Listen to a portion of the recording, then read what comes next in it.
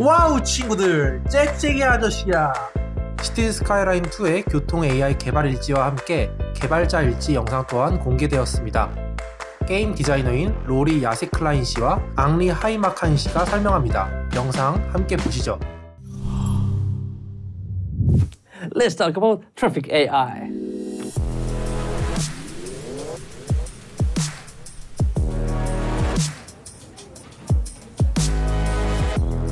Skylines 1, the agents chose their pathfinding based on how close they are to something where they want to go. Skylines 2, the agents actually calculate the pathfinding cost, and that pathfinding cost is based on multiple different factors.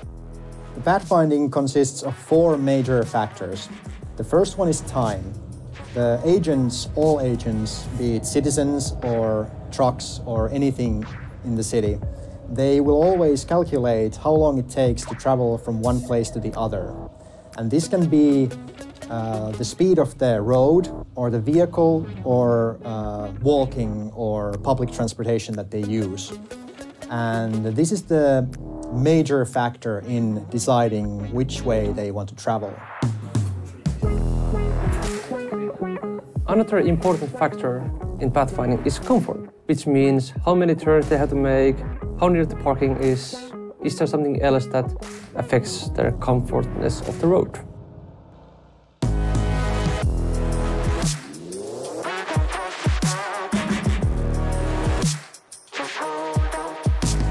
Money, money, money, money is also important factor in the pathfinding. Money is usually about fuel costs for citizens, and it can also be ticket fees if they use public transportation. And then, last but not least, is the behavior.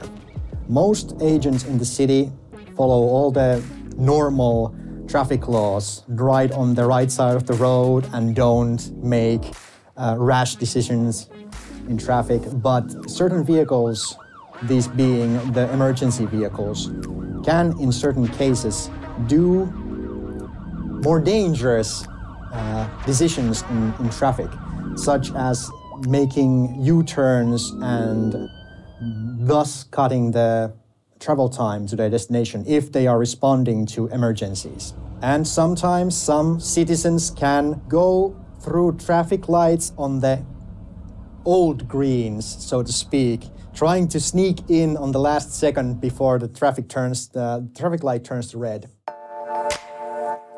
In pathfinding, different age groups value different things. For example, teens value money because they have none, adults value time because they have so little of it, and seniors prefer the comfort because they are in their leisure time of the year. Road lanes, yes, they are still in city skylines too. Now the vehicles will use all the lanes available for them. So if you have a traffic light intersection where one lane is filled with cars now, the other cars will pick the open lanes and then fill that intersection evenly.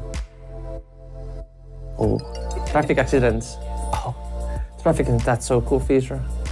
These can be caused by poor road condition, lighting condition, weather, and natural disasters.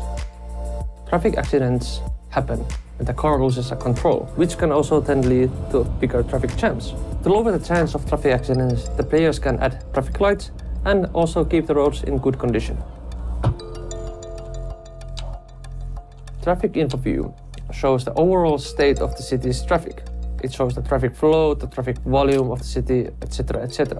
The road info view itself is kind of like two-parter. The one info view is about the whole city. Then you can also select individual roads and see their own road info view and all information about that in more in depth. And you can also see traffic flow and volume of that particular street or road.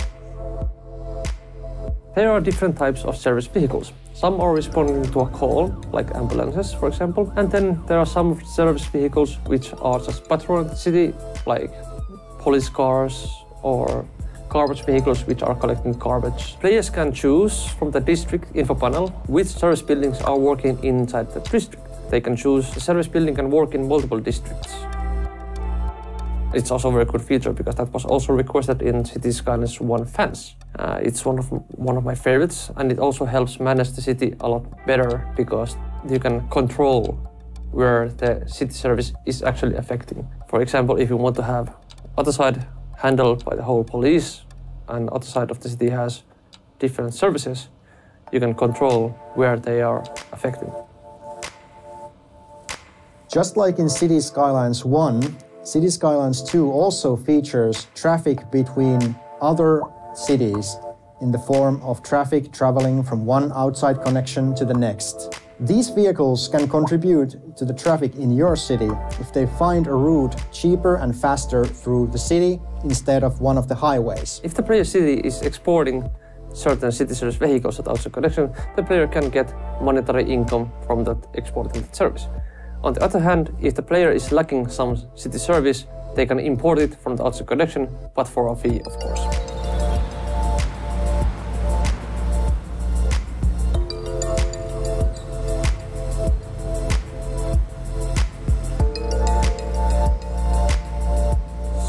I do like a thanks for watching, you know, the, the cliche YouTube ending.